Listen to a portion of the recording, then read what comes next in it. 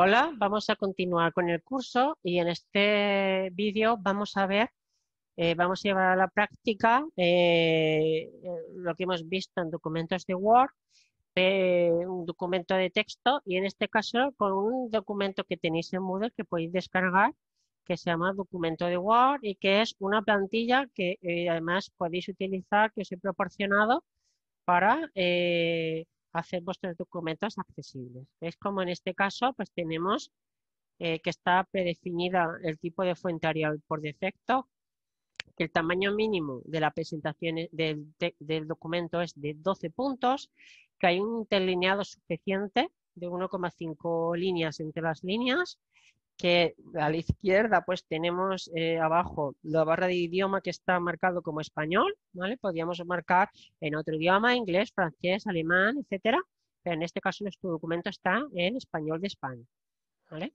Además veis que está formateado con, con el título del libro, eh, con eh, los títulos 1, etcétera, y que además pues tiene el logo de la universidad como encabezado y que eh, pues, si bajamos para abajo tiene una serie de imágenes, ¿vale?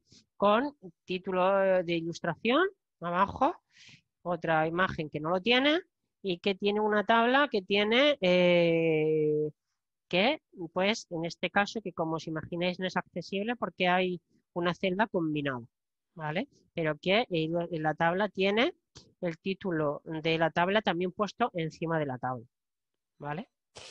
Como veíamos en el curso, era muy importante utilizar la parte de eh, la parte de eh, panel de navegación, ¿vale? Nuestros documentos, ¿vale?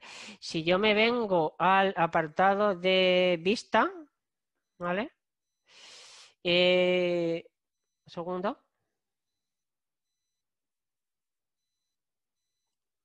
¿Vale? Que me colisiona un poco aquí. Vale, vista. ¿Vale? Eh, vemos que tenemos aquí el panel de navegación. ¿Vale? Si está desactivado, si lo activamos, ¿vale? Aparece a la izquierda el panel, pues aparecen las miniaturas o la versión de Word directamente los títulos que están en esta. ¿Vale? Como veis, los títulos tan importantes de la estructura del documento que permiten pulsar de una parte a otra y nos llevan automáticamente, ¿vale? Y nos permiten hacernos una idea de qué trata el documento, ¿vale? En este, este momento vamos a ver, vamos a intentar arreglar una serie de problemas que tenéis, que tiene este documento y que pues podrían ser otros, pero para que veáis unos más significativos, ¿vale? El primero de ellos, y vamos a verlo a través de, con la herramienta de comprobación de accesibilidad de Word. ¿Vale? Yo, voy a yo estoy utilizando un Word para Mac, pero las, opciones son prácticamente iguales. ¿vale? Yo en mi caso tengo que ir eh, a herramientas y en herramientas tengo que ir a comprobador de accesibilidad. ¿Vale? Y nos, aparece a la derecha un panel, ¿vale? Importante. Eh, si estáis usando Windows, tenéis que ir al menú Archivo, Inicio y luego pues, Archivo, pulsar en la opción Información, luego en la, la panel que se abre, buscar comprobar si hay problemas ¿vale? Y eh, después comprobar accesibilidad y automáticamente aparecerá aquí. Esas son las transparencias que os he puesto y que podéis ver en el vídeo anterior. ¿Vale? Y entonces, en este caso, pues tendríamos que el documento pues eh, eh, tiene problemas de accesibilidad, no es accesible del todo. ¿Vale? Con este comprobar accesibilidad podemos ver, por ejemplo, que dice que tiene falta texto alternativo la imagen 2 que son los osos y la imagen 3 que es el eh, de la mano, ¿vale? El logo de la mano de la universidad, el logo, perdón, la estatua, ¿vale? Entonces yo pulsaría con el botón derecho sobre la imagen y le daría editar texto alternativo, ¿vale? Si en vuestra versión de Word es más antigua y no tiene editar texto alternativo directamente, tendremos que pulsar el botón derecho, formato de imagen, luego a la derecha eh, pulsar en el panel que se abre diseño y propiedades y ya aparecerá texto alternativo, ¿vale? Igual que las, eh, igual que las transparencias que os he puesto en el vídeo anterior, ¿vale? Es muy difícil que tener todos la misma versión de Word, ¿vale? Porque cada uno está en nuestra casa o en vuestro puesto de trabajo y es, complicado, ¿vale? Pero os enseño las dos maneras.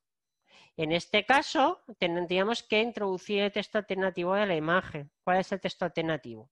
Pues podríamos escribir que es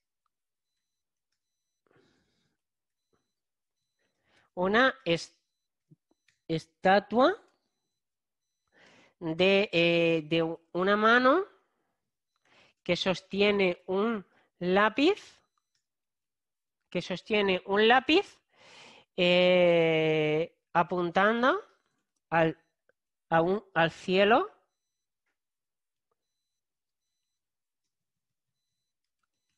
despejado. ¿Vale? Entonces ya tendríamos la imagen. En, el caso, en este caso, pues una imagen, un lector de pantallas, al pasar por encima, pues eh, eh, leería la imagen, incluso si nosotros documento, este documento lo pasamos a PDF, cuando pasamos el ratón por encima de la imagen, aparece el texto alternativo de, la imagen. ¿Vale? Vale, ¿qué más errores nos dice? Voy a cerrar un momento eh, este panel de texto alternativo y voy a ver más. vemos que ha desaparecido el error. Y ahora vamos, dice que eh, imagen u objeto no alineado, imagen 1. ¿Cuál es esa imagen? Es la imagen de la Universidad de Alicante en el cabezado, ¿vale? Que pues en este caso se la repetirán todas, ¿vale? Entonces, vamos a ver qué ocurre, pues entramos en el encabezado y ¿qué pasa? Que la imagen podemos moverla, ¿vale? Esta imagen, esta imagen está flotando en el documento. Le hemos puesto pues, traer al frente, enviar al fondo, etcétera, y ahora se ha quedado mal, le hemos movido con el ratón. Entonces, para solucionar esto, las imágenes y que entre en el documento y no se quede flotando, botón derecho, tenemos que pulsar sobre ajustar texto, ¿vale? Y eh, en línea con el texto. Pulsamos vemos que la imagen se ha, eh, se ha puesto en la línea del texto, pulsamos escape y salimos. Vemos que ha desaparecido el error. ¿Vale? Ya está la imagen alineada. Hay que tener mucho cuidado a la hora de, copiar imágenes y demás. Fijaros, por ejemplo, tenemos la, esta de la mano, ¿veis? Pero yo la de la mano, si la muevo, ¿vale? No, no me deja, ¿vale? ¿Por qué? Porque eh, esta imagen, pues, no, eh, eh, está, está bien hecha, ¿vale? Entonces, no está a traer al fondo ni nada, sino que se ha puesto bien y no está flotando, ¿vale? Entonces, no tendríamos que hacer nada. Vamos a ver, dice también que hay un error de que faltan, eh, que hay celdas combinadas o divididas. Vamos aquí y nos lleva efectivamente a la imagen que aquí hay una celda que ocupa una columna cuando debería ocupar dos. ¿Vale? Y todas, y para que la tabla fuera uniforme. Pulsamos con el botón derecho sobre la tabla y vamos a dividir celdas. En este caso lo que queremos, en este caso coincide, es que queremos que sea dos columnas y una, la misma celda que está, pero que en este caso sean dos columnas en vez de uno. Pulsamos aceptar. Vemos cómo se ha creado y ahora pues deberíamos completarlo con un 8 ya sea la tabla accesible que tiene su título y todos los, elementos. ¿vale? Yo os dejo como ejercicio que eh, los osos, la imagen de los osos, la intentáis describir vosotros. Sigáis el proceso y el texto alternativo que hayáis obtenido lo podéis compartir en el foro de duras y comentarios eh, y para que veamos todos que cada una de las personas añadiríamos un texto alternativo distinto. ¿Vale? Así que por esta sesión eh, hemos terminado y es importante que os bajéis el documento vosotros y que un poco lo probéis y que si os sirve de plantilla, pues lo utilicéis en vuestras asignaturas en vuestros documentos de investigación, etcétera.